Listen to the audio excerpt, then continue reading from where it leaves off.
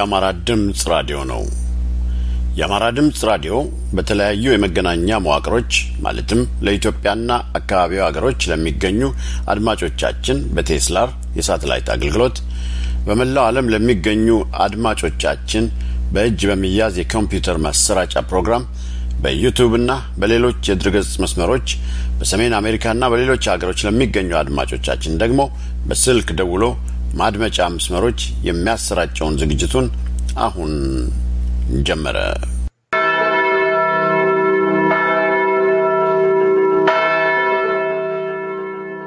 ክቡራትና ክቡራን አድማጮቻችን ሰላምታችን ይድረሳችሁ። ዛሬ መጋቢት አምስት ቀን ሁለት ሺ አስር ዓመተ ምህረት ዕለተ ረቡዕ ነው። ፕሮግራሙን የምመራላችሁ እስከ ዳር ድረስ ነኝ። የምናቀርብላችሁ ደግሞ እኔና ደምስ በለጠ ነን። ከዚህ ከስቱዲዮአችን ሰላምታችንን እናቀርባለን። የዛሬውን ዝግጅታችንን ዝርዝር ከማስተዋወቄ በፊት የአማራ ድምጽ ራዲዮ ዘውትር ሰኞ፣ ረቡዕ፣ ቅዳሜና እሁድ በኢትዮጵያ ሰዓት አቆጣጠር ከምሽቱ ሁለት ሰዓት እስከ ሶስት ሰዓት ድረስ ለኢትዮጵያና በአካባቢዋ ለሚገኙ ጎረቤት ሀገሮች በ15360 ኪሎ ሄርዝ አጭር ሞገድ ፕሮግራሙን እያሰራጨ መሆኑን ለአድማጮቻችን እናሳውቃለን። ለሰሜን አሜሪካ አድማጮቻችን ደግሞ በስልክ ቁጥር 563 999 3366 በመደወል ዝግጅታችንን በቀጥታ በስልክ ማዳመጥ እንደሚቻል እንዲሁም የራዲዮናችንን አንድሮይድ አፕሊኬሽን በመጫን ከፕሮግራማችን የመረጣችሁትን ዝግጅት ማዳመጥ እንደምትችሉ ላስተዋውቃችሁ ወዳለሁ።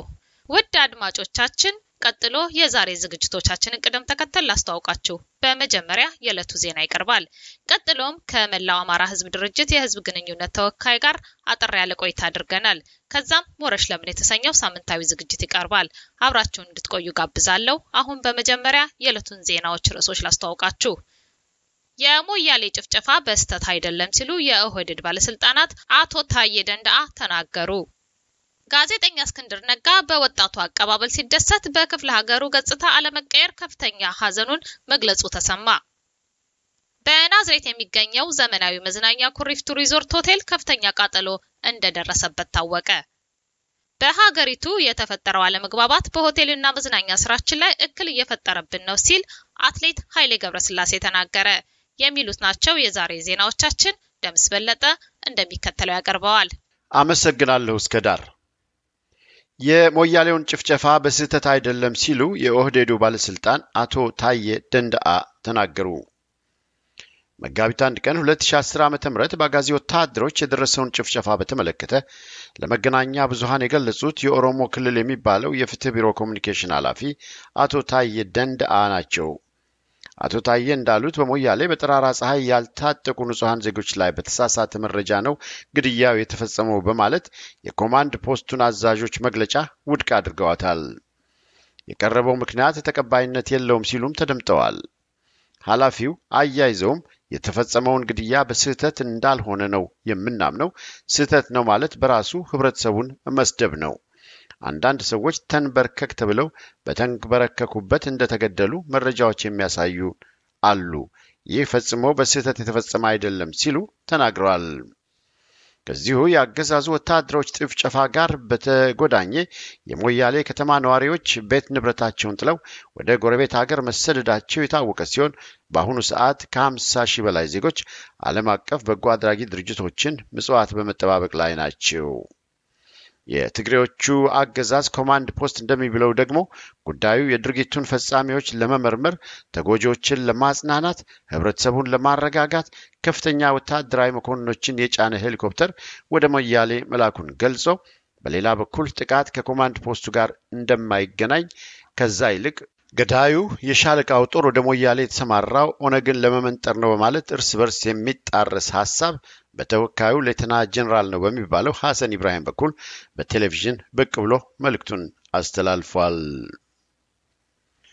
በሌላ በኩል የደረሰው መረጃ እንደሚያመለክተው በሞያሌ የተደረገው ግድያ በከተሞችና በገጠር ሊወሰዱ የሚገባቸው ህዝብን የማስደንገጥ እርምጃዎች ተብለው በዝርዝር ከወጡት አገዛወዛዊ ሽብር ተግባራት አንድ አካል ነው። ይህ የትግሬ ወታደሮች ሽብር ሊፈጸምባቸው ከወጡ አካባቢዎች ውስጥ ለጎረቤት ሀገሮች ይቀርባሉ የተባሉ ከተሞች ውስጥ በተለይም መተማ፣ አሳይታ፣ ሞያሌ፣ ቡሬ፣ ዶሎ፣ ሐረርና አሶሳ ናቸው።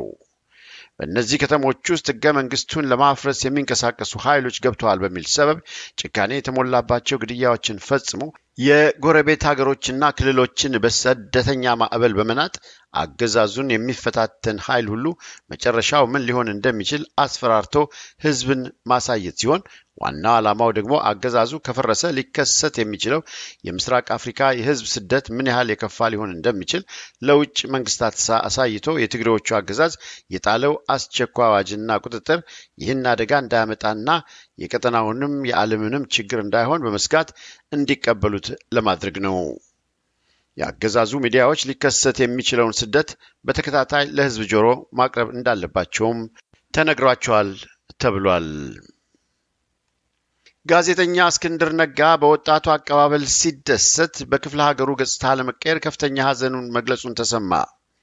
ጋዜጠኛ እስክንድር ነጋ ከስድስት ዓመት ከስድስት ወር እስር በኋላ የአማራ ህዝብ መናገሻ ስፍራዎችን ጎብኝቷል። ባያቸው የመሰረተ ልማትና የቅርስ ጥበቃ ጉድለቶች ማዘኑን በተመለከታቸው ጉዳቶችም ቁጭቱን መግለጹ ታውቋል። እስክንድር ጎንደር ባለችበት የቆመች ከተማ ሆና አግኝቻታለሁ በማለት ጎንደር ከተማን ካየ በኋላ አስተያየቱን ሰጥቷል። ቅርሱ በአግባቡ አልተያዘም፣ ባያያዙ በጣም አዝኛለሁ።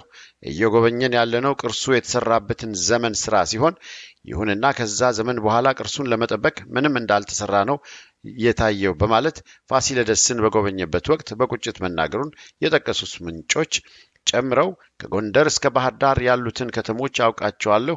አሁን ሳያቸው በጣም አዝኛለሁ። ምንም የተለወጠ ነገር የለም።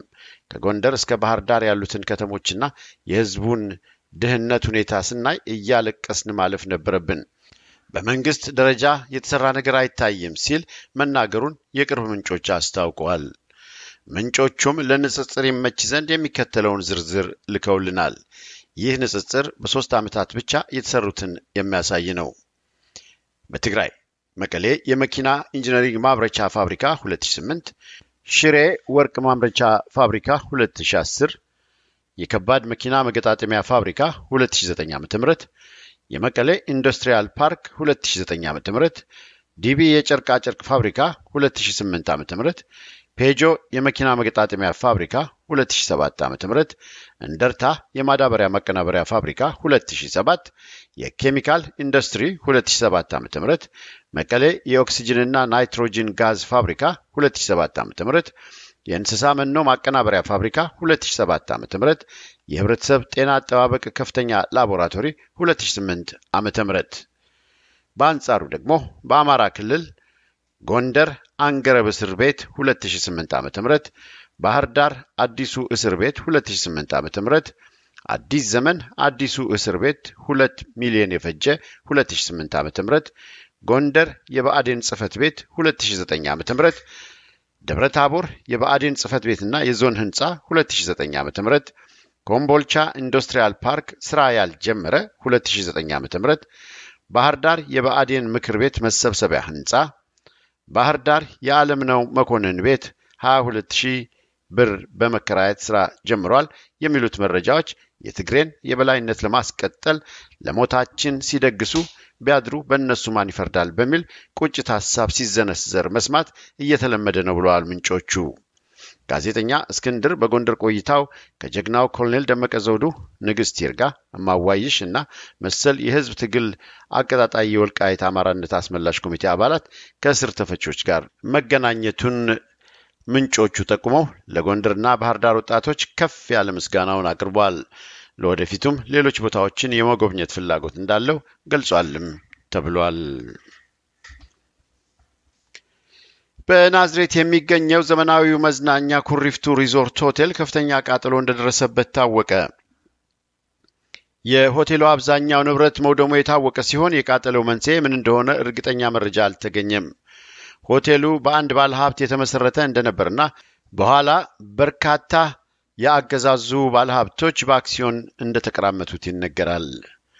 ኩሪፍቱ ሪዞርት መጋቢት 3 ቀን 2010 ዓ ም ሰኞ በደረሰበት ከፍተኛ የቃጠሎ ጉዳት አብዛኛው ንብረት እንደወደመ የታወቀ ሲሆን የቃጠሎው ምክንያት የኤሌክትሪክ ችግር ሊሆን ይችላል የሚሉ ምንጮች እንዳሉ ሁሉ ከጥቃቱና ከጉዳቱ አንጻር ሲታይ ኩሪፍቱ ሪዞርት መስራች በግል ባለቤትነት የሚያስተዳድሩትና መስራቹን ሰው በልዩ ልዩ ተጽዕኖዎች በማግለል በአክሲዮን ስም የአገዛዙ ቤተሰቦች እንዲቀራመቱት በመደረጉና ገንዘብም ጉልበቱም ያላቸው የህወሓት አባላት የሚከብሩበት እንደሆነ በመታወቁ የተነሳ በድብቅ የነጻነት ተጋድሎ አካላት ቅንብር የተፈጸመ ነው ሲሉ የናዝሬቴው ምንጫችን ገልጿል።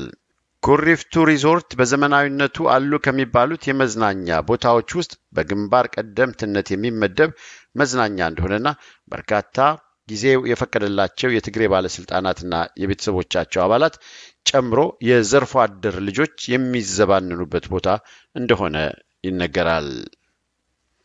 ይህ በዚህ እንዳለ በሀገሪቱ የተፈጠረው አለመግባባት በሆቴልና መዝናኛ ስራችን ላይ እክል እየፈጠረብን ነው ሲል አትሌት ኃይሌ ገብረስላሴ ተናገረ። ኃይሌ በአዲስ አበባ ጥርስ ከተደከሰባቸው የአገዛዙ አባላት እንደ አንዱ የሚቆጠር ሰው ሆኗል ይላል የደረሰን ዜና። አትሌት ኃይሌ ገብረስላሴ ለሸገር ኤፍኤም ራዲዮ ሲናገር እንደተሰማው በሱሉልታ የሚገኘው የያያ ቪሌጅ ሆቴል ስራውን ሲያከናውን ዝጉ የሚል ማስጠንቀቂያ ከማናውቀው ሲደርሰናል። ስንዘጋ ደግሞ ለምን ዘጋችሁ ተብለን በኮማንድ ፖስት እንድንከፍት እንገደዳለን። ይህ ሁኔታ ካስከተለብን ኪሳራ ባለፈ ሰራተኞቻችን ችግር ውስጥ እንዲገቡ አድርጓል ያለው ኃይሌ ገብረስላሴ አትሌት ሞ ፋራህን ጨምሮ በያያ ቪሌጅ ሆቴል እየተስተናገዱ ላሉ የውጭ ዜጎችም ሁኔታው የተመቸ አይደለም ሲል አትሌት ኃይሌ ገብረስላሴ መናገሩ በኮማንድ ፖስቱ ሞ ፋራህን ጠርቶ በውጭ ሚዲያዎች ለአገዛዙ ድጋፍ ለማስገኘት የተደረገ ስልት ነው የሚሉ ወገኖች አልታጡም።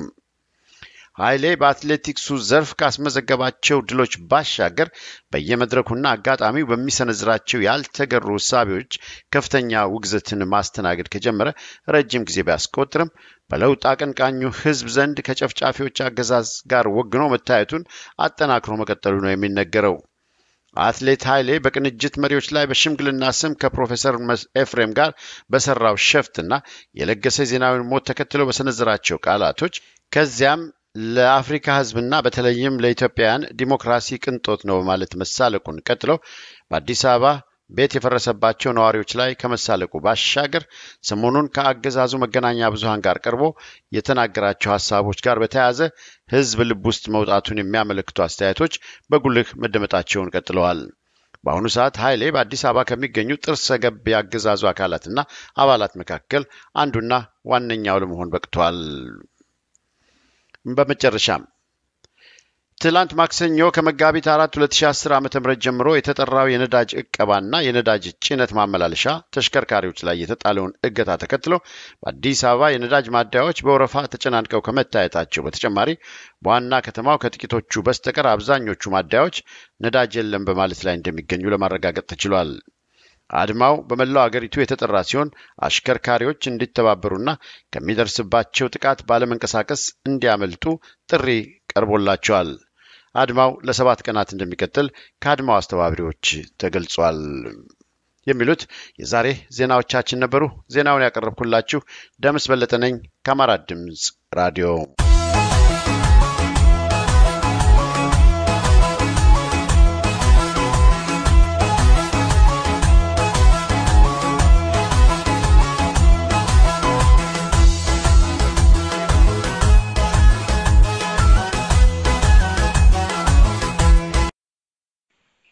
የተከበራችሁ አድማጮቻችን በመርሃ ግብራችን መሰረት አንድ እንግዳ ይዘንላችሁ እንቀርባለን ብለን ነበር። የዛሬ እንግዳችን የመላው አማራ ሕዝብ ድርጅት የሕዝብ ግንኙነት መምሪያ ኃላፊ ዶክተር ካሳው ታፈረ ናቸው። እንግዳችን ዶክተር ካሳው በመጀመሪያ በአማራ ድምፅ ራዲዮ እና በአድማጮቻችን ስም ሰላምታዬን እያቀረብኩ እንኳን ደህና መጡ እላለሁ። እንኳን ቆያችሁኝ ደምስ፣ በጣም አመሰግናለሁ። አዎ እንግዲህ ቃለመጠይቃችን ልንጀምር ነው። ባልደረባዬ እስከዳርም አብራኛለች። ሰላምታውን ማቅረብ ከፈለጉ ይችላሉ። ጤና ይስጥልን፣ እንደምን አለሽ እስከዳር?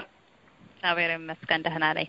ዶክተር ካሳው ወደ ጥያቄ ልግባ። ወደ መጀመሪያው ጥያቄ ሰሞኑን ባለፈው አርብ ጀምሮ እስከ እሑድ ድረስ ለሶስት ቀናት የአማራ ፖለቲካ ድርጅቶች፣ የሲቪክ ማህበረሰቦች እና የመገናኛ ብዙኃን ለሶስት ቀናት ተሰብስበው መግለጫ አውጥተዋል። አማራው አንድ ላይ አብሮ ለመስማት የተስማማበትን መግለጫ አድርሰውናል።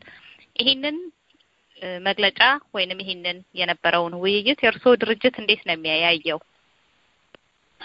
በጣም አመሰግናለሁ። ይሄንን ስብሰባ በእውነት የእኛ ድርጅት የመላው አማራ ህዝብ ድርጅት መአድ በጣም በበጎ ጎኑ ነው የሚመለከተው እና እንዲያውም በአማራ ትግል ታሪክ ውስጥ እንደ ማይልስቶን ትልቅ ነገር እንደ ትልቅ ክንውን ነው የምንመለከተው። የአማራ ድርጅቶች በተለያየ ጊዜ እንግዲህ በአማራ ላይ ከደረሰው መጠነ ሰፊ ጥቃት አንጻር ሁሉም በያለበት ተነሳስቶ የበኩሉን አስተዋጽኦ ሲያደርግ ቆይቶ አሁን ግን ሁሉም ነገር መስመር መያዝ ስላለበት ይሄ የተበታተነው ኃይል በአንድ ላይ መምጣትና መመካከር በጣም ሲጠበቅና ሲሰራበት የነበረ ስለነበረ እንዲያውም በዚህ አጋጣሚ ሁሉንም የአማራ ድርጅቶች እንኳን ደስ ያላችሁ፣ እንኳን ለዚህ ቀን አደረሳችሁ ነው የምለው እና የእኛ ድርጅት በበጎ ጎኑ ነው የሚመለከተው። የዚህ ስብስብ ጥቅሙም በጣም ላቅ ያለ ነው። በጣም ከፍተኛ ጥቅም ይኖረዋል። እንግዲህ በጋራ በሆኑ ጉዳዮች ላይ ብዙ በጋራ መስራት ይቻላል። ብዙ ብዙ ነገሮች አሉ። fundraise ሊደረግ ቢባል ህዝቡን በሰላማዊ ትግል ወይም ደግሞ በተለያየ አመፅ ወይም አድማ ማሳተፍ ቢያስፈልግ በምክክር resource sharing ሁሉም በተለያየ ከሚሄድ አንድ ላይ ተመካክሮ አጠንክሮ መልእክት ለማስተላለፍ እና የአማራን ህዝብ በሰፊው እና ሳይከፋፈል ለመድረስ የሚረዳ ስብስብ ነው የሚሆነው። ብዙም የተጠቀሱ ነገሮች አሉ። አሁን በአማራ እንቅስቃሴ ውስጥ በጣም እየተፈለገ ያለው የሚዲያ አማራን ተኮር ያደረገ ሜዲያ በጣም ያስፈልጋል እና ያንንም ሁሉ መስመር ለማስያዝ ይሄ ምክክር በጣም በቀጣይ የሚወስዳቸው እርምጃዎች በጣም በጣም ወሳኝ ናቸው ለዚህ ለዚህ ትግል እና ድርጅታችንም ለስኬታማነቱ ጠንክሮ የሚሰራ ነው የሚሆነው። ዶክተር ካሳው ይህን ካልን ዘንዳ እንግዲህ ወደ ሌላ ጥያቄ ስንሸጋገር በቅርቡ በእናንተ ድርጅት ውስጥ የአመራር ለውጥ ተደርጓል። ይሄ የአመራር ለውጥ የተደረገበትን ሁኔታ ቀደም ብሎ ከስድስት ወር በፊት እናደርገዋለን፣ በስድስት ወር ውስጥ ውሳኔ እንሰጥበታለን ያላችሁት ሁኔታ ነበር። ግን ከዛ ረዘም ያለ ጊዜ ወስደው ነው እና ያደረገው። የአመራር ለውጡ ላይ የተደረገው ሽግሽግ ምን ይመስላል? በእርስዎ በኩል መግለጫም ወጥቶበታልና እስቲ ከመግለጫው አንጻር ያለውን ሁኔታ ያስረዱን። አዎ ትክክል ነው። ድርጅታችን እንግዲህ እንደሚታወቀው ከስድስት ወር ከዛ ትንሽ ቀደም ብሎ በውህደት የተመሰረተ ድርጅት ነው።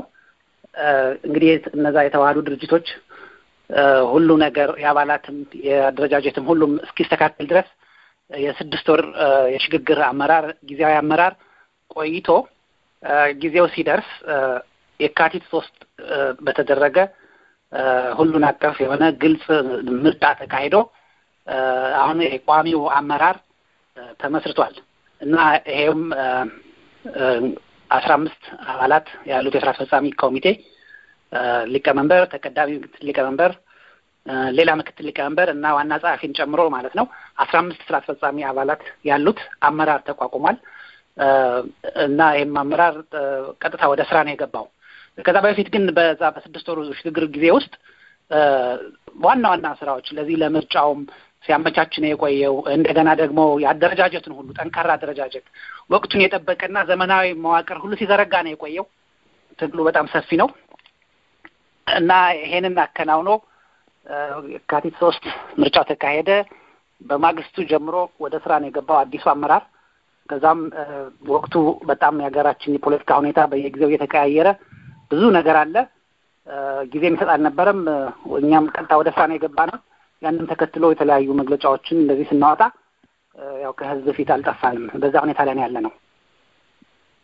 ዶክተር ካሳው የሚቀጥለው ጥያቄ የሚሆኑት ሰሞኑን በርከት ያሉ ተከታታይ መግለጫዎችን አውጥታችኋል። ያወጣችኋቸውን መግለጫዎችም በዛው ትጠቅስልኛለህ።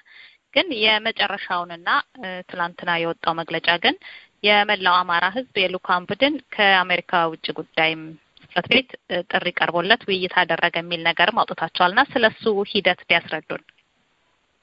በጣም ጥሩ።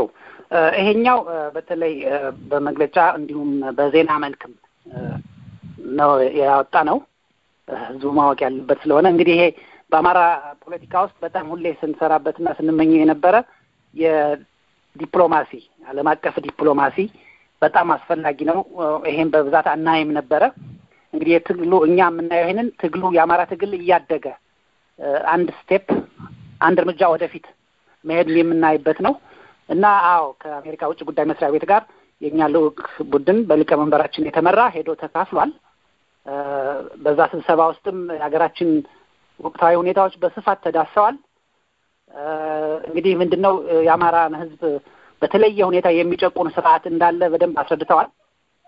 ይኸውም ከመሰረቱ ነው። ይሄ ስርዓት የአማራን ህዝብ ለየት ያለ በደል ሊያደርስበት የቻለው ይሄ የተመሰረተው ህገ መንግስት ገና ሲጀምሩ የአማራን ጥቅም የማያስከብር አማራንም ያልወከለ አማራ ፍጹም ያልመከረበት የተገለለበት ህገ መንግስት ነበርና ይሄንን ህገ መንግስት በዚህ ህገ መንግስት መተዳደር ለአማራ በጣም አስቸጋሪ እንደሆነ ሁሉ ነገሩን የሚጻረር ስለሆነ በጣም አስቸጋሪ ነገር እንደሆነበት ይሄንን ለባለስልጣኖቹ አስረድቷል የኛ ልኡካን ቡድን እና እንግዲህ ከዚህም ተከትሎ በመረጃ በአማራ ላይ የደረሱ ጉዳቶችን፣ ማፈናቀሎችን፣ ግድያዎችን፣ ዘር ማጥፋት ደረጃ የደረሱትን ሁሉ በመረጃ አቅርበን በጣም በጣም በጥሩ ሁኔታ ያዩበት ሁኔታ ነው ያለው እና እንዲያውም ይሄን ነገር እንድንጠፋበት ወደ ዩናይትድ ኔሽን እንድንወስደው እና በጣም support እንደሚያደርጉን በዚህም ዙሪያ ስለተረዱት ማለት ነው እነሱ እና ይሄንን አስረድተን የመጣ ነው። specifically ሚስተር ዶናልድ ያማማቶ የሚባሉ ሰው ናቸው። እሳቸውን ነው ያገኘው የኛ ልኡካን ቡድን ቡድን እና እንግዲህ ሚስተር ያማማቶ ማለት በድሮ ጊዜ እነዚህን አሁን ያለውን ስርዓት ወያኔዎቹን እና ሌሎች በዛን ጊዜ የነበሩ ከአማራ ውጭ የነበሩትን በተለይም ኦነግን እና ሻቢያን ጨምሮ ያደራደሩት የህርማን ኮን የሚባለውን ቦታ የያዙ ሰው ናቸው። አዎ ወሳኝ በሁኔታ ያላቸው ሰው ናቸው። የታወቀ ነው። ግን እዛ መግለጫችሁ ላይ የሚለው አንድ ነገር አለ። የውጭ አሜሪካ የውጭ ጉዳይ ሚኒስቴር መስሪያ ቤት ባደረገልን ጥሪ መሰረት ነው የሚለው። እናንተ ይሄ ጥሪ የተደረገላችሁ ከሌላው የአማራ ድርጅት ልዩ የሚያደርጋችሁ ምን ስለሆነ ነው? ለምንድን ነው ለእናንተ ጥሪ የተደረገ ብላችሁ የምታስቡት? በጣም ጥሩ ጥሩ ጥያቄ ነው። እንግዲህ እኒሁ ከመሬት ተነስቶ አልጠሩንም። የእኛ የውጭ ጉዳይ መምሪያችን ከቀደም ብሎ ጀምሮ ብዙ ጥረቶችን ሲያደርግ ቆይቷል እና እንግዲህ ያው ያጠናሉ፣ አደረጃጀታችን ያያሉ። እንግዲህ ሁሉም ድርጅቶች የተለያየ አካሄድ አላቸው። የእኛ አካሄድ ይህንን የዲፕሎማሲ ሁኔታ የዓለም አቀፍ ዲፕሎማሲን ቅድሚያ ሰጥቶ ይንቀሳቀስ ስለነበረ እንግዲህ ያንን ተመልክተው ነው ግብዣውን ያደረጉልን ማለት ነው። እነሱ በሚመቻቸው ጊዜ ነው። ጥያቄ ቀደም ብሎ ቀርቦ ሊሆን ይችላል። ነገር ግን ጥሪው የሚመጣው ቆይቶ ቆይቶ ስለሆነ አሁን መምጣት ትችላላችሁ ስላሉን ነው ጥሪ ተደርጎልን ብለን ያልነው ማለት ነው። ይሄ በትክክል እንግዲህ እንደ ማንኛውም ድርጅት የዲፕሎማሲ ጥረት ይደረጋል።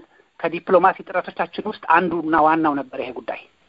ግልጽ ነው። አመሰግናለሁ። እሺ ዶክተር ካሳው እንደዚህ አይነት የውጭ ጉዳይ በተለይ ከአሜሪካ የውጭ ጉዳዮች ጋር በምትገናኙበት ጊዜ ሌላም አንድ የተጀመረ የ human right resolution እየተሰራበትና የሴኔት resolution እየተሰሩበት ያሉ resolution ኖች አሉና እንደዛ አይነት ድርጅቶች እንደዛ አይነት ነገሮችም ላይ ድርጅታችሁ የበለጠ ቢሳተፍና እንደዚህ አይነት መረጃዎችን ከማገዝ አንጻር እንዴት ብትሰሩ መልካም ነው ላለሁና ይህንንስ እንዴት ያዩታል? በትክክል ይሄ በጥሩ ሁኔታ እየሄደ ያለ ነው።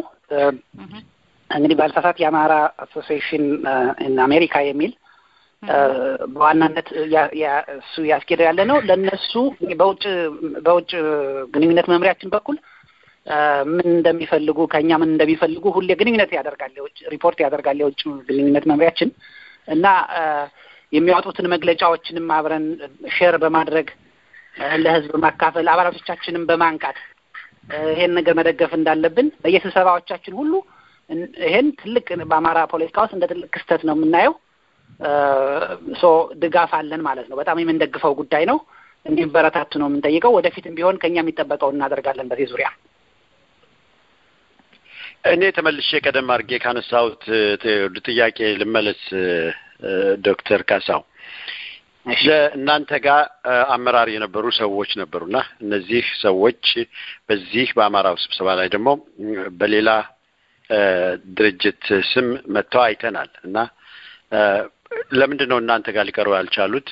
ወይንስ ከድርጅቱ ወደ ድርጅት የሚካሄደውን ሁኔታስ ወደፊት እንዴት ታዩታላችሁ? ምን መደረግ አለበት ብላችሁ ታስባላችሁ? ለምንስ ከእናንተ ጋር መስራት አልቻሉም? እንግዲህ ይሄ እዚህ ላይ እኔ ምንም የማውቀው ነገር የለም። ከኛ ድርጅት አመራር የነበረ ወደዛ ለብቻው የሄደ ወይም ሌላ ድርጅት ጋር የሄደ የማውቀው ግለሰብም የሆንን ቡድን የለም። ይሄ ድርጅታችን በስድስት ወር ሽግግር አድርጎ ዋናውን አሁን ቋሚውን ስራ አስፈጻሚ ከሰየመ ጊዜ ጀምሮ እንደዚህ አይነት ነገር የለም።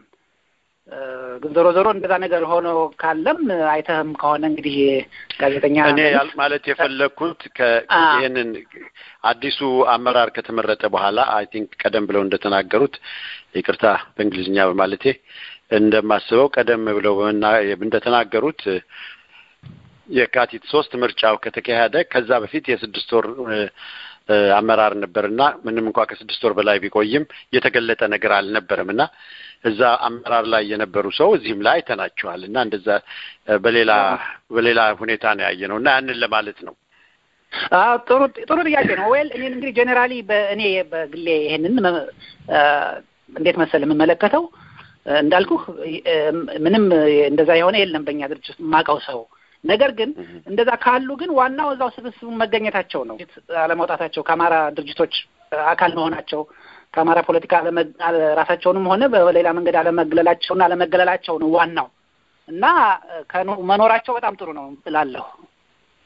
ዶክተር ካሳው ሰዓታችን እያለቀ ስለሆነ በመጨረሻ በሞያሌ ጭፍጨፋ ላይ ያወጣችሁትን መግለጫ አይቻለሁ። ይበል የሚያስብል ነው። በዛ ላይ የሚሰጡት መልእክት ካለ አንድ ደቂቃ አዎ ጥሩ። ከዛም ቀደም ብሎ የአማራውን መሳሪያ ለመንጠቅ የተደረገ ያለውን ሴራ በማስጠንቀቅ አማራው ትጥቁን እንዳይፈታ የሚያስጠነቅቅ በጣም ጠንከር ያለ መግለጫ አውጥተናል እና እሱን ባወጣን በማግስቱ ነው እንደዚህ በሁለተኛ ቀኑ ሞያሌ ላይ እንደዛ ተፈጸመ። ይሄ በጣም የምናወግዘው ነገር ነው። በሰላማዊ ሕዝብ ላይ በኦሮሞ ኦሮሞ ወገኖቻችን ላይ ያደረጉት ጭፍጨፋ በጣም በጣም ዘግናኝ ነው። በጣም አዘናል። በዚህ አጋጣሚ ቤተሰቦቻቸውና ወዳጆቻቸውን ዘመዶቻቸውን እንዲያጽናና እግዚአብሔር እንዲያጽናናቸው እንመኛለን። ይሄ በእኛም በወልዲያ ላይ የደረሰውን እናውቀዋለን ምን ያህል ይሄ እንደ ህመም እንደሆነ እና ይሄንን በጣም የምናወግዘው ነው የሚሆነው። ይሄ እንዲያውም ጥሩ ነው። ትግሎችን በየቦታው ያሉትን አንድ የሚያደርግ ነገር ነው የሚሆነው። እየተዘዋዟሩ ሰሜን፣ ደቡብ እያሉ አንድ አይነት ወንጀል ነው እየፈጸሙ ያሉት እና እንግዲህ በዚህ በዚህ ሰዓት አብረን እጅ ለእጅ ተያይዘን ይሄንን አስከፊ ስርዓት ይሄን ጨቋኝ ስርዓት መጣል እንዳለብን ነው። እኛም አሁን እየተደረገ ያለውን የትግል እንቅስቃሴ አሁን ለምሳሌ የነዳጅ ማገት ጥሪ አድርገዋል የኦሮሞ ወገኖቻችን። ይሄም እኛም የምንደግፈው ነው። በእኛም መዋቅሮቻችን ተጠቅመን ይሄ ነገር ተግባራዊ እንዲሆን በመላው አማራም ይሄ ነገር እንዲፈጸም ተከታታይ ጥሪም እናደርጋለን። ውስጥ ለውስጥ የምንሰራበት ጉዳይ ነው። ይሄ ጨቋኝ ስርዓት በዚህ ሁኔታ መገለል አለበት። በጣም አድርገን እናመሰግናለን ዶክተር ካሳው ታፈረ የመላው አማራ ህዝብ ድርጅት የህዝብ ግንኙነት መምሪያ ሹም ወይንም ኃላፊ ናቸው። በሌላ ጊዜ በሌሎች ጉዳዮች ላይ በአዲሱ ህብረትም ሆነ በግሌ እናንተን ድርጅት በተመለከተ የምንገናኝባቸው ሁኔታዎች ይኖራሉ ብዬ አስባለሁ። በዚህ ሁኔታዎች እስከምንገናኝ ድረስ ለሰጡን ጊዜና ለሰጡን ማብራሪያ በእኔና በባልደረባዬ በስከዳር እንዲሁም በአማራ ድምፅ ራዲዮ ስም ላመሰግነው እወዳለሁ። በዚሁ ልሰናበቶ። ጤና ይስጥልኝ። ደህና ይሁኑ። ደህና ሁኑ። ደምስ እስከዳር በጣም አመሰግናለሁ።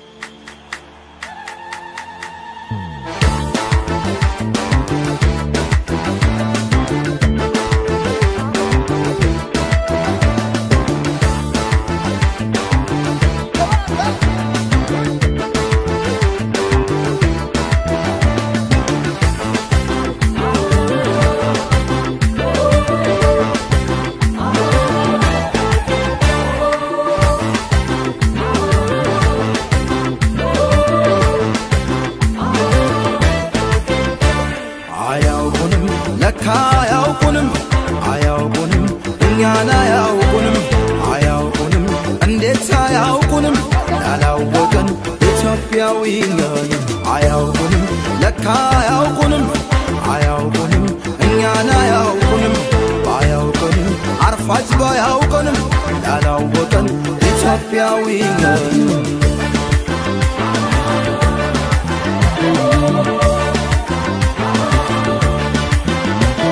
ኢትዮጵያ ይገባሻል ክብር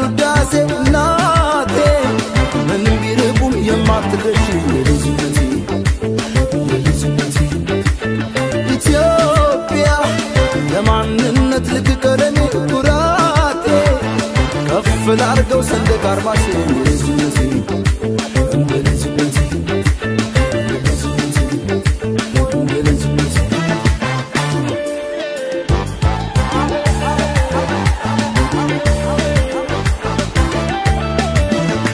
ምናላት ምን ሰሩ ማናላት ለሚሉ ለአገሬ ይንቁሽ ላሰቡም የቱ ጋር ላሉ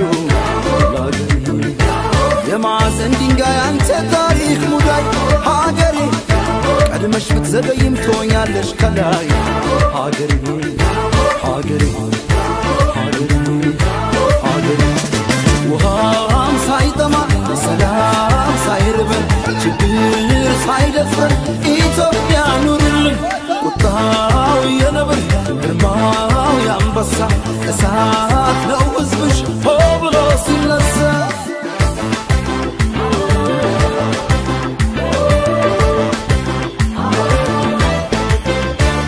ልክ እንደ የተሸከመው መለያው ሰንደቅ ዓላማው ነው። ያሆ በልጃለ ያሆ በልምን ነው ያሆ በልጃለ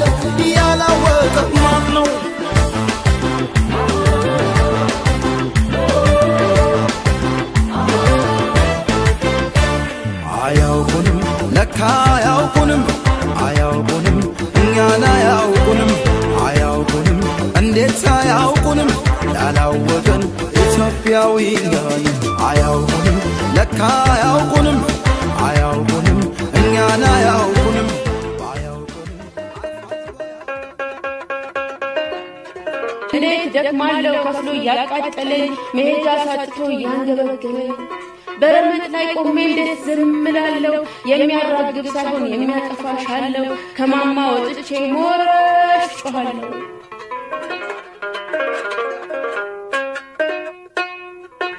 ምናልባት አንድ ቀን ምናልባት አንድ ቀን እድሜም ቢገፋ ጥሬ ተሰምቶት ይሰደድ ሊያጠፋ ይመጣ ይሆናል። ደከመኝ አልልም ቀን እስኪያልፍ ያለፋል። ህም እንዳልኩ ልጣራ ቦድ ሀገር ይሰፋል። ሞረ ሞረ ሞረ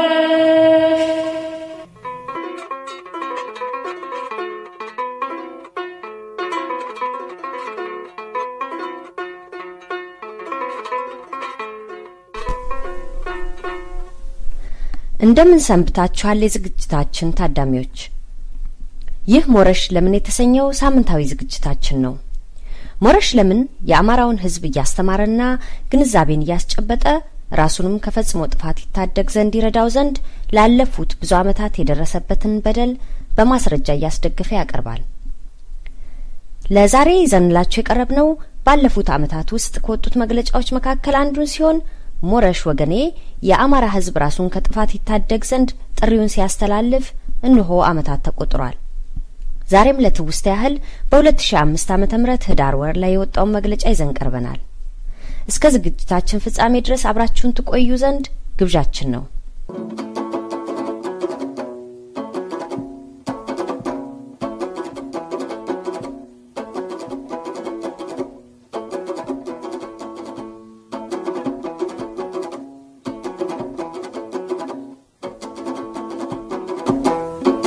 ሞረሽ ወገኔ የአማራ ድርጅት ማክሰኞ ህዳር 18 ቀን 2005 ዓመተ ምህረት ቅጽ 1 ቁጥር 3 የሰጠው መግለጫ በአማራው ነገድ ላይ የተከፈተው የዘር ማጥፋት ዘመቻ ፊት አውራሪዎች እነማን ናቸው?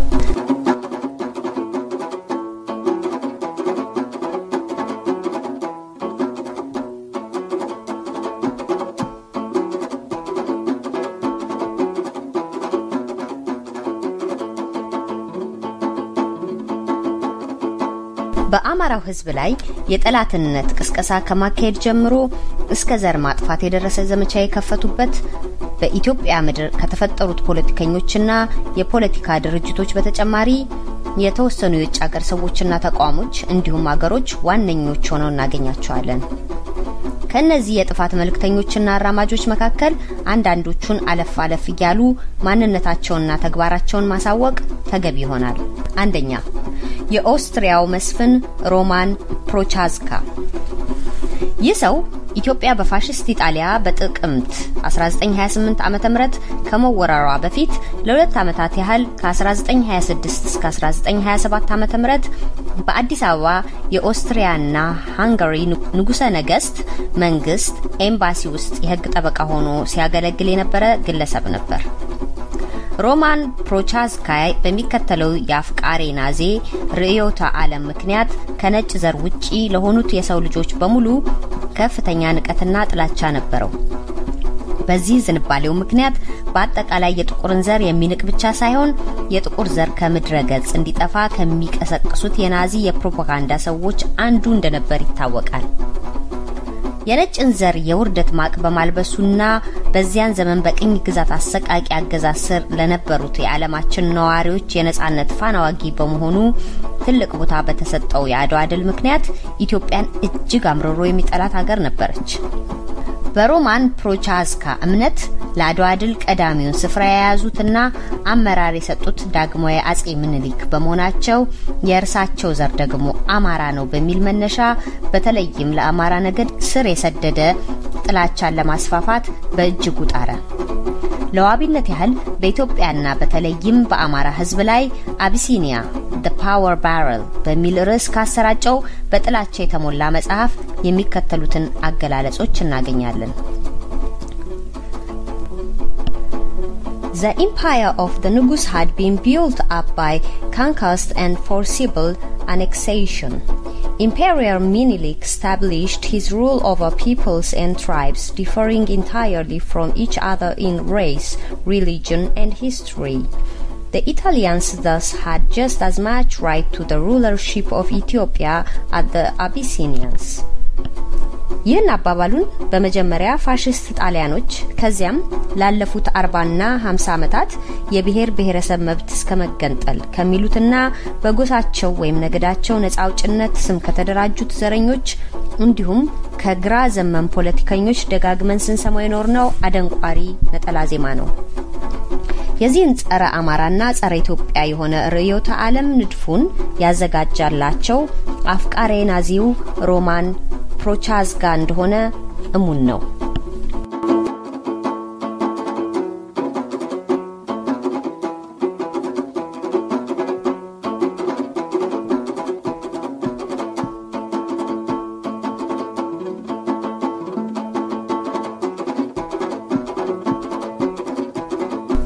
ሁለተኛ ዋለልኝ መኮንን በቀዳማዊ ኃይለ ሥላሴ አገዛዝ ዘመን ተማሪዎችን ንቅናቄ ይመሩት ከነበሩት ግራ ዘመን ፖለቲከኞች አንዱ ዋለልኝ መኮንን ነበር።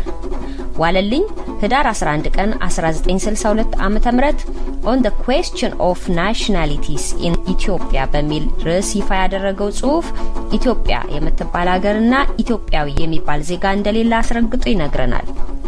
የሚከተለው አንቀጽ የዋለልኝ መኮንን ጽሑፍ መሰረታዊ ጭብጥ ቁልጭ አድርጎ ያሳየናል። What are the Ethiopian people composed of? I stress on the word peoples because sociologically speaking at this stage, Ethiopia is not really one nation. It is made up of a dozen nationalities with their own languages, way of dressings, history, social organization, and territorial entity. And what else is a nation? It is not made of a people with a particular tongue, particular way of dressing, particular history, particular social and economic organization. Then, may I conclude that in Ethiopia there is the Oromo nation, the Tigray nation, the Amara nation, the Gurage nation, Sidama nation, the Walamo or Walaita nation, the Adore or Harari nation, and however much you may not like it, the Somali nation. ምንም እንኳን የዋልልኝ ጽሁፍ የሮማን ፕሮቻዝካ መጽሐፍ ከታተመ ከ28 ዓመታት በኋላ የሌኒናዊ ስታሊናዊ ሸማ ለብሶ ቢቀርብም መሰረታዊ ሀሳቡ ግን ከሮማን ፕሮቻዝካ መነሻ ሀሳብ ጋር መሳ ለመሳ ተመሳሳይ ሆኖ እናገኘዋለን። ከሁሉም የሚደንቀው ግን ዋለልኝ መኮንን ለሁሉም የኢትዮጵያ ነገዶችና ጎሳዎች ጠላት አድርጎ የሳለው የአማራው ነገድ ተወላጅ መሆኑ ነው። ምናልባት በዚህ የዋለልኝ መኮንን ተግባር በታሪክ የሚተካከለው ቢኖር ከናዚ መሪዎች መካከል አንዱ የነበረውና ለሶስት ሚሊዮን አይሁዶች በናዚዎች መጨፍጨፍ ምክንያት ነህ ተብሎ በአደባባይ የተሰቀለውና በእናቱ አይሁዳዊ የነበረው አዶልፍ ኤክማን ይሆናል።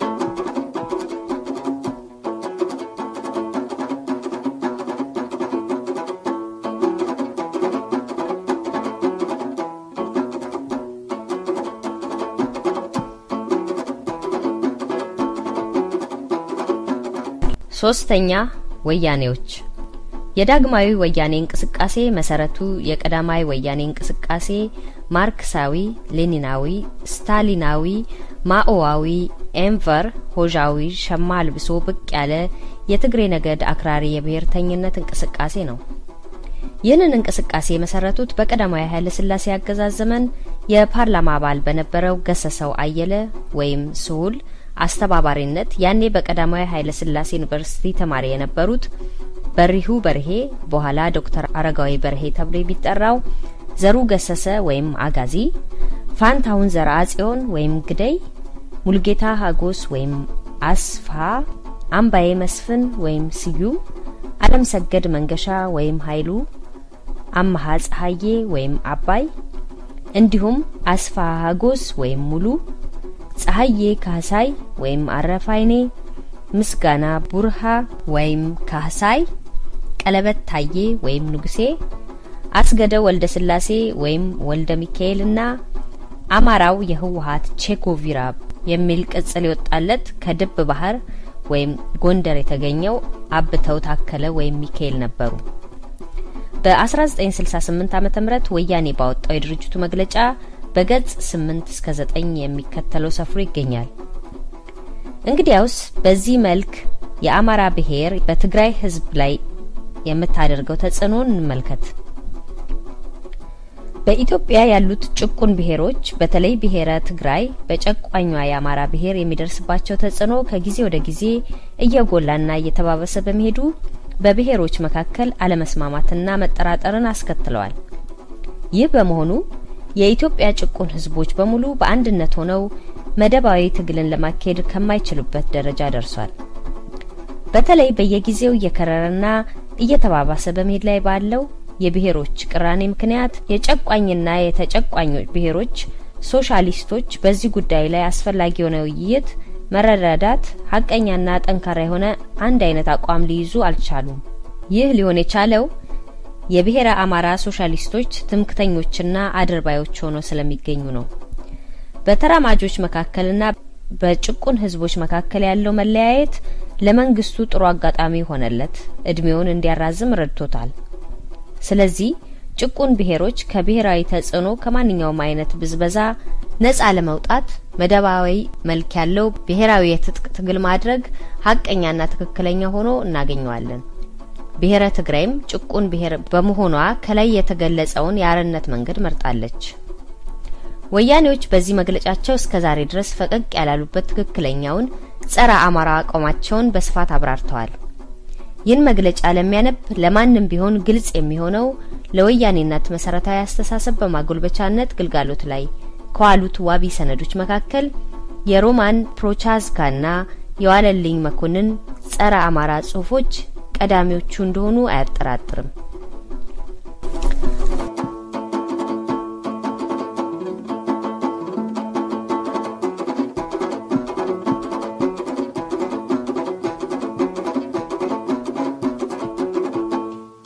አራተኛ መሐመድ ሸምሰዲን ሜጋሎማቲስ ራሱን ፕሮፌሰር ብሎ የሚያንቆላብጸውና እስከ ዛሬ በዓለም ላይ ከየትኛውም ዩኒቨርሲቲ ተመርቆ የማያውቀው ይህ ሰው ዘሩና ዜግነቱ ቱርክ ነው። የተወለደው ግን ግሪክ ሀገር ነው። ሙሐመድ ሸምሰዲን ከሮማን ፕሮቻዝካ ጋር በከፋ ሁኔታ ጸረ አማራና ጸረ ኢትዮጵያ ጽሁፎችንና ቅስቀሳዎችን በማሰራጨት የሚተካከለው የለም። ይህ ሰው ግን ኢትዮጵያ ውስጥ ለበቀሉት ዘረኛ የጎሳ ፖለቲከኞች እጅግ የተራቀቀ እውቀት ያለው ሊቅ ተደርጎ ይወሰዳል።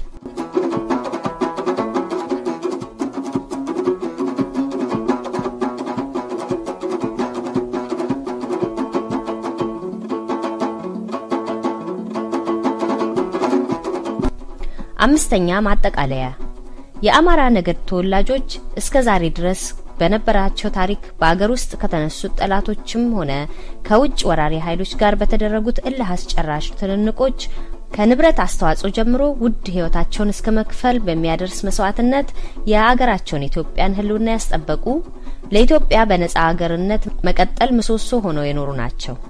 ይህን ከትውልድ ትውልድ በመሸጋገርና በእኛ ዘመን የደረሰ የዜግነት አስተዋጽኦአቸውን የሚያንኳስሱ የሚያጥላሉም ሆኖ አልፈው ተርፈውም በዚህ ምክንያት ቂም በቀል አርግዘው አማራውን ለማጥፋት የተነሱ ግለሰቦች፣ የፖለቲካ ድርጅቶችና አገሮች መኖራቸው በታሪክ የተረጋገጠ ሀቅ ነው።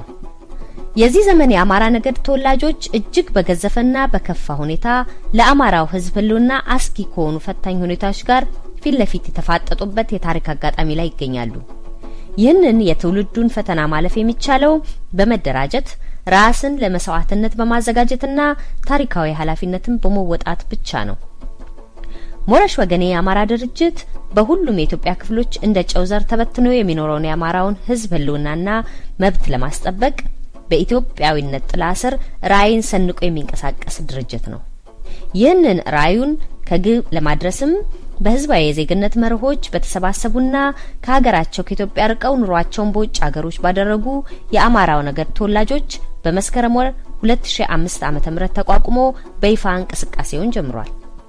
በተለይም በሁሉም የዓለም ክፍሎች የሚኖሩ የአማራ ተወላጆች ይህንን ጨቅላ ድርጅት በመቀላቀል እንዲያጠናክሩት፣ እንዲደግፉትና በዓላማው ስር ተሰባስበው በአገር ቤት በትግሬ ወያኔ ናዚያዊ አገዛዝ ስር የጅምላ የዘር ማጥፋት ጭፍጨፋ የሚካሄድበትን አማራውን ወገናቸውን እንዲታደጉ ድርጅቱ በአማራው ተወላጆች የአደጋ ጊዜ በሚደረገው የድረሱልኝ ቃል ሞረሽ ብሎ ጥሪውን ያቀርባል። አማራን ከፈጽሞ ጥፋት እንታደጋለን። አማራው ለእኩልነት እንጂ ለባርነት ዝግጁ አይደለም። ፈለገ አስራት የትውልዳችን ቃል ኪዳን ነው። አምላክ ኢትዮጵያንና ሕዝቧን ይጠብቅ። ሞረሽ ወገኔ የአማራ ድርጅት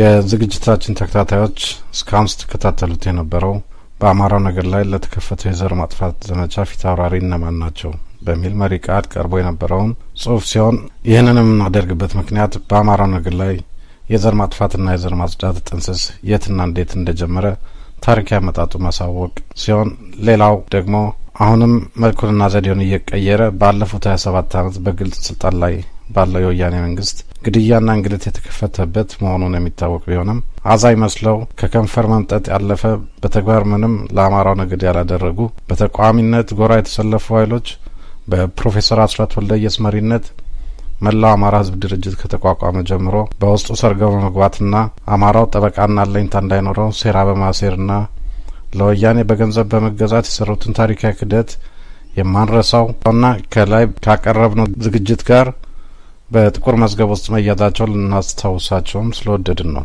ሞረሽ ለምን የአማራው ነገድ የደረሰበትን ግፍና በደል በማሳወቅና በማስተማር ጠላቶቹን ጠንቅቆ እንዲያውቅ ከማድረጉም ባሻገር ተደራጅቶና ተጠናክሮ ህልናውን እንዲያስጠብቅ አቅጣጫንም ያመላክታል። ይህ እውን እንዲሆን መላው አማራ ህዝብ ድርጅት ከፈረሰ በኋላ የአማራው ነገድ ወደፊት የሚመጣበትን የከፋት ሰቃቂ እልቂት ለማቆምና ድምጽ ለመሆን ራዕይ አንግበው በተነሱ ግለሰቦች ሞረሽ ወገን የአማራ ድርጅት የዛሬ አምስት ዓመት አካባቢ መመስረቱ የሚታወስ ነው። ሞረሽ ወገን የአማራ ድርጅት ከተቋቋመ ጀምሮ የአማራው ድምጽ ከመሆኑም አልፎ በአማራው ነገር ላይ የደረሱ ግድያ፣ እንግልት፣ መፈናቀል፣ መታሰር፣ መሰደድና እንዲሁም እነኝን የጭካኔ ድርጊት የፈጸሙ ግለሰቦችን ይሁን ቡድኖች በተጨባጭ መረጃና ማስረጃ ሰብስቦ በታሪካዊ ሰነድ አስቀምጧል። በተጨማሪም የወያኔ አገዛዝ ስልጣን ከያዘ ጀምሮ በአማራው ነገድ ላይ የተፈጸመውን ግፍ አስጸንቶ በመጽሐፍ ማውጣቱ የሚታወቅ ነው።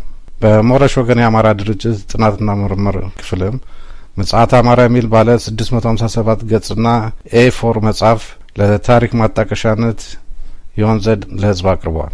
ሞረሽ ወገን የአማራ ድርጅት በአማራው ላይ የደረሰውን ግፍ በመረጃ አጠናክሮ ለዓለም ፍርድ ቤት አቅርቦ ክስ ሊያስመሰርት የሚችል በቂ መረጃ አላችሁ ተብለው የፍርድ ሂደቱን ለመጀመር በሂደት ላይ መሆኑ እንዲሁ የሚታወቅ ነው። በሁሉም ዓለም ላይ ያለው አማራ መረጃ በተማከለ መልኩ እንዲደርሰው ይህን የአማራ ድምጽ ሬዲዮ አገር ቤት በሳተላይት በአፕሊኬሽንና በውጭ ለሚኖረው ደግሞ በዩቲዩብና መሰል ማህበራዊ መገናኛ ዘዴዎች በማቅረብ አማራው እንዲነቃና እንዲደራጅ እያደረገ ይገኛል። በተጨማሪም አማራው ወደፊት ኢትዮጵያን በሚመለከት ጉዳይ ከሌሎች ድርጅቶች ጋር በሚደረግ ውይይት የራሱንም ሆነ የሌሎች ኢትዮጵያውያንን መብት እኩል በሚያስከብርበት ጉዳይ ላይ አቋሙን ያሳውቃል፣ ይከራከራል፣ ይወያያል። በተለይ የአማራው ነገድ ወደፊት ሊያጋጥመው የሚችለው መከራ አደገኛ መሆኑን የተረዳው በግምት ሳይሆን አሁንም በተቃዋሚ ጎራ የተሰለፉ በሙሉ ሊባል በሚችል ሁኔታ ያላቸው የፖለቲካ አመለካከቱ ወይም የኢትዮጵያ ችግር የብሔር ብሔረሰብ ጭቆና ነው የሚል በመሆኑ ነው።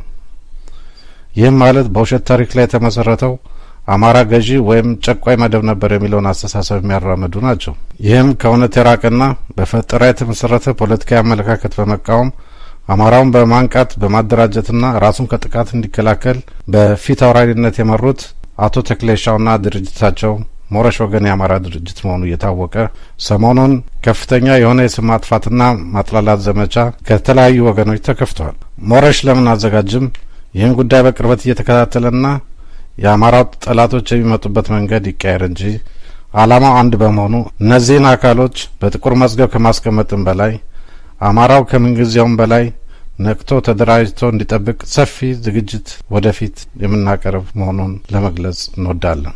ውድ አድማጮቻችን ይህንን የተለየ ዝግጅት ማዘጋጀት የተገደድ ነው እውን አማራው እንዲደራጅና የራሱ ድምጽ እንዲኖረው አይፈለግም ወይ የሚል ከምንጊዜውም በላይ አሳሳቢ የሆነ የምናየው ጉዳይ በመሆኑ ሰፋ ያለ ዝግጅት በተለያየ መልኩ በጽሁፍም ይሁን በንባብ እንዲሁም በውይይት የምናቀርብ መሆኑን እናሳውቃለን። በዚሁ ዝግጅት ላይ ለመሳተፍ የምትፈልጉ ካላችሁ በስልክ ቁጥራችን አንድ ሶስት ሶስት አራት አራት ዘጠኝ ሰባት ዜሮ ዘጠኝ ስድስት ስምንት ወይም በኢሜይል አድራሻችን ዋይ ኢኤ ዲአይኤም ቲኤስኢ አት ጂሜይል ዶት ኮም ብትልኩልን እንደሚደርሰን እንገልጻለን። አብራችሁን ስለ ቆያችሁን እያመሰገንን በሚቀጥለው ሳምንት እስከምንገናኝ መልካም ሳምንት። ስለ እናት ምድሬ እሷ ናት ክብሬ ኧረ እኔስ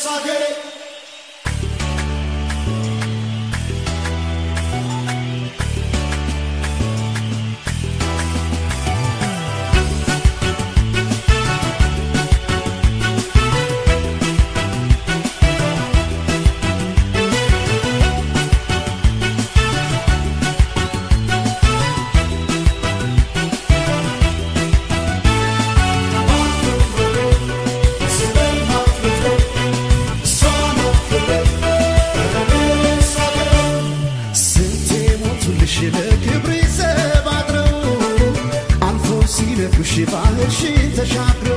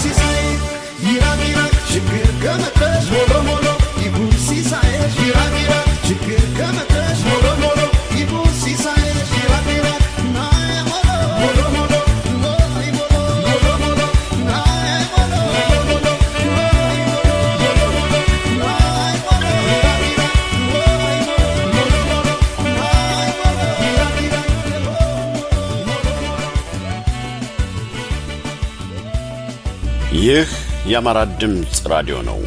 ይህ ለኢትዮጵያውያን በተለይም ለአማራው ልሳን የሆነ የብዙሃን መገናኛ አገልግሎት ተጠናክሮ እንዲቀጥል የአድማጮቻችን ድጋፍ ወሳኝ ነው። የማያቋርጥ ድጋፋችሁ እንዳይለየን እናሳስባለን።